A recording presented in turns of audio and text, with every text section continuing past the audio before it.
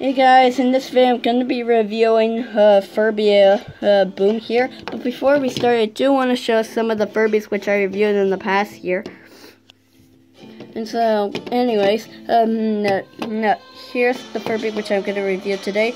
But before I uh, start to review, uh, I do want to mention a few things about this toy. This isn't one which uh, which was in Mexico. Um, it's just uh, one from the USA, which came along with the rest. That's okay.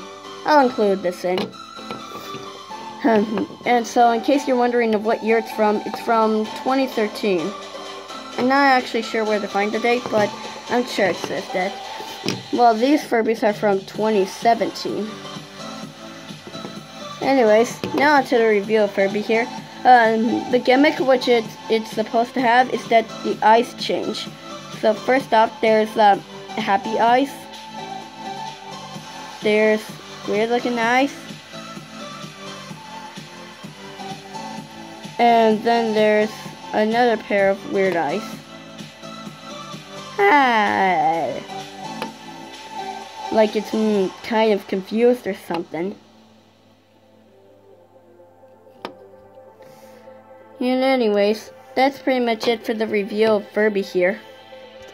Thanks for watching.